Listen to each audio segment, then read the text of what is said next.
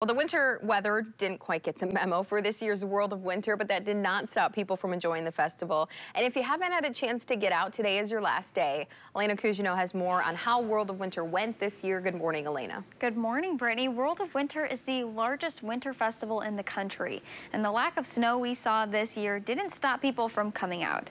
Organizers say more than 4 million people have visited downtown during the festival. That's similar to the numbers that they saw last year. World of Winter started started on January 12th. The seventh annual festival featured 30 art installations, 81 ice sculptures, and multiple different events for everyone.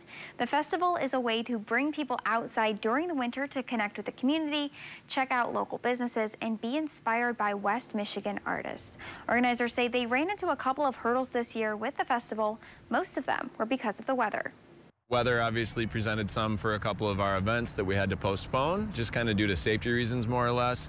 And in addition, some of the art installations we've needed to keep an eye on for high winds and different weather conditions. So a lot of adapting and uh, changing things up and pivoting from time to time, but the team is really well equipped to do that.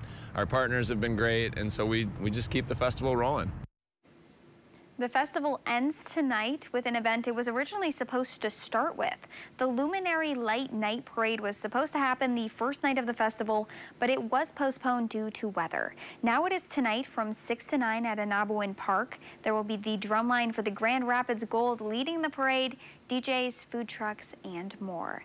The closing celebration is free for everyone. Just make sure that you bring some tennis shoes for the parade.